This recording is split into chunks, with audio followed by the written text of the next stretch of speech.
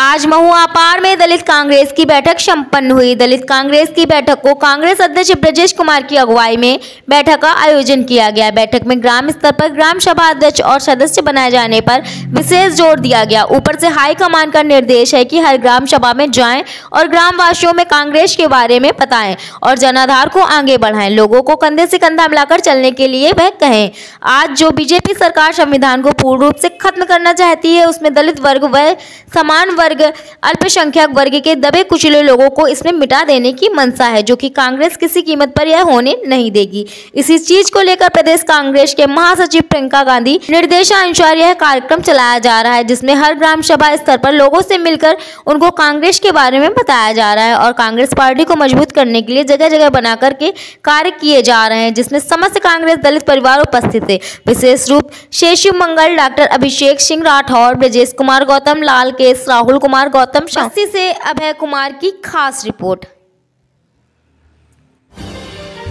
सियासी गलियारों से लेकर खेल के मैदान तक। एंटरटेनमेंट के तड़के से लेकर